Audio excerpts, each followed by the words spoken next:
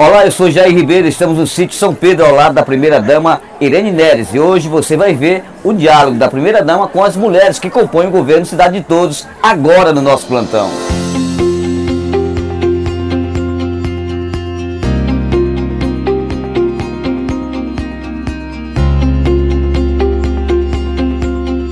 Dona Irene, qual é o objetivo realmente dessa, reunião hoje aqui no sítio São Pedro?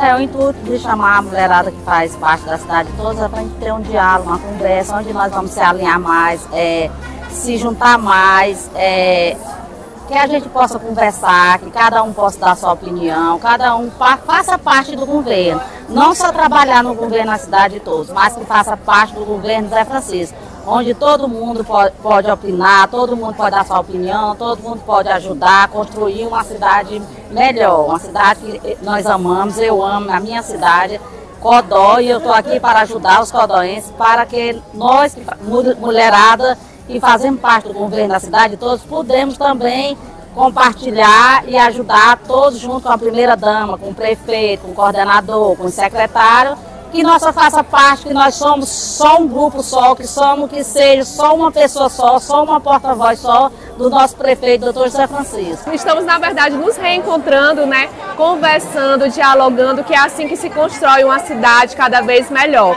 Estou aqui com a minha amiga Merilene, Marilene da ONG dos Animais, da APAC, que é uma guerreira, uma amiga muito grande nossa e nossa companheira aqui também que veio prestigiar esse momento. Então, obrigada por todas.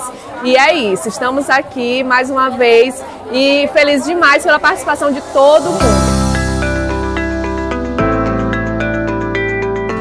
Eu quero aqui agradecer a Deus por esse grande momento, agradecer toda a comissão organizadora desse belíssimo encontro. Fiquei muito feliz, muito emocionado por encontrar tantas companheiras, tantas mulheres aqui nessa reunião dizer que nós estamos juntos, juntos para realmente continuar nessa grande luta, é nosso codó livre, nosso codó sem perseguição, um codó de oportunidades.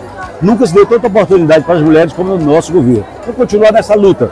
E hoje chamamos elas para realmente anunciar que vamos continuar nessa briga, nesse trabalho, por mais quatro anos, para continuar trabalhando engrandecendo o município de Codó.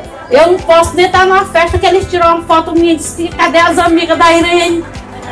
Eu podia chamar eles para ver minhas amigas aqui.